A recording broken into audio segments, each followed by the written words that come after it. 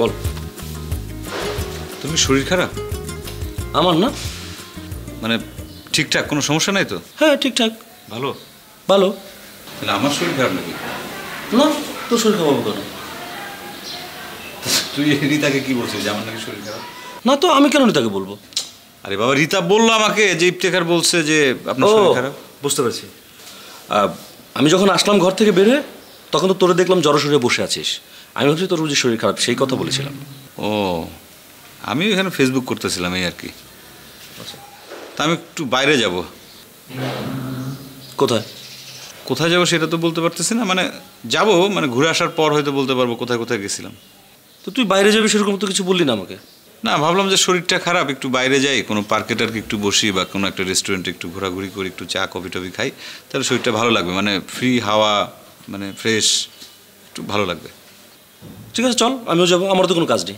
না না তোর যাওয়ার দরকার না তুই বাসায় রেস্ট নে। তোর শরীর খারাপ তুই একা যাবি কেন? কোনো ইনসিডেন্ট তো ঘটতে পারে আমার যাওয়া উচিত না তোর সাথে? না যদি কোনো অঘটন ঘটে আমি তোর সাথে সাথে ফোন দেবো হ্যাঁ? ঠিক আছে তাহলে ফোন দিস। তুই আমার ফোন করিস রিং দিস। হ্যাঁ আচ্ছা। আমি অ্যাম্বুলেন্সের সাথে কথা বলে রাখব। আপনাকে তো একটা কথাই বলা হয় নাই ইফতেকার তো আমার উপর প্রচণ্ড রাগ করছে।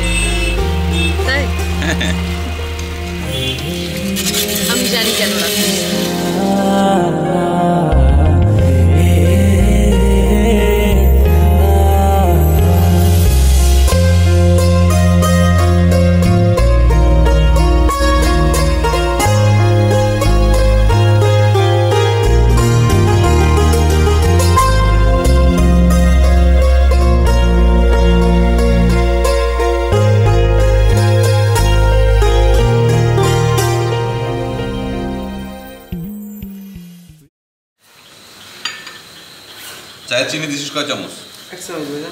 অবশ্যই না তিন চামচ মিনিমাম দিছিস। তোর বলছি না যে চিনি কম দিবি। ব্যাগটা নামাই দে। কই যাবি? এ বাসা থাকব না।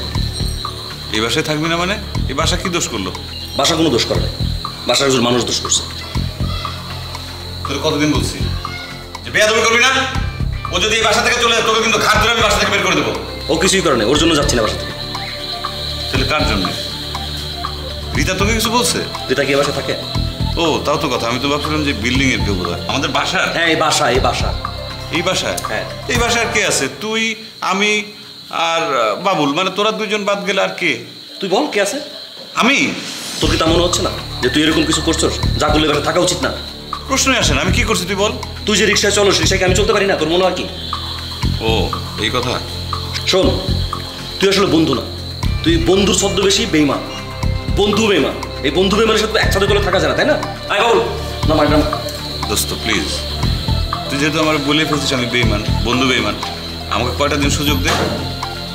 আমি বন্ধু হওয়ার চেষ্টা করি। তোর বিশ্বাস করা কঠিন আসলে।